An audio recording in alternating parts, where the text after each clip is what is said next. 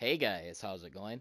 My name is TRSKSS and welcome back to the channel and in today's video we're going to be going ahead and speaking about another news incident that happened just a few minutes ago that is actually very unfortunate and has a lot of people worried.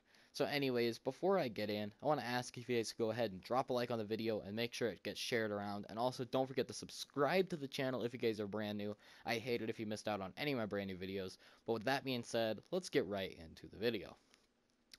Alright, so I'm not sure if you guys are knowing anything about Hayes Grier, but he's actually a 16 year old and he was on Dancing with the Stars last year and he's a huge internet star, super famous, and it appears like he got into a car crash just today. And so now people are very concerned about him. And over on Twitter, there's actually a hashtag called hashtag pray for Hayes, and it has already like 50,000 tweets put into it, which is quite a lot. But I have an article right here that tells what exactly happened, so we're going to go ahead and, you know, read it. So apparently his brother, Nash Grier, actually tweeted out hashtag pray for Hayes, just got a call on set that said Hayes was in a car crash. He's now in the hospital. And then it says Nash, who is currently living in LA, said he was on set when he received the call. Nash then tweeted that his brother can move and talk and he's praying for a quick recovery. Then it says he can move and talk, but he's coughed up a lot of blood. That's all I know, praying he has a quick recovery. So then it says Hayes, who's 16, as I told you, has over 14 million followers across Facebook, Vine, Instagram, and he will be featured in the top upcoming web comedy Top Grier, where he will attempt to run his family's 19 acre farm in North Carolina.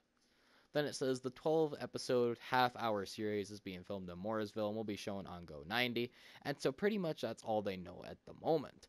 That he actually got stuck in the car crash when he was on his bike, and it was very disappointing to hear about because, as a lot of you people already know, you guys might be a fan of him. And it was very traumatic to have to see somebody that had to that was somebody that you looked up to so much as actually at the hospital and it's very disappointing.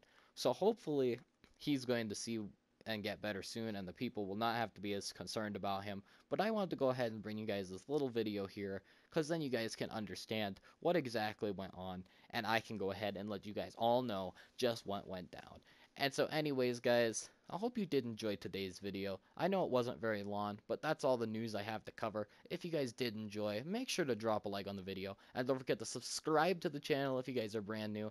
I'd hate it if you missed out on any of my brand new videos, but anyways guys, this is TRSKSS, and I will see you in the next one. Peace out.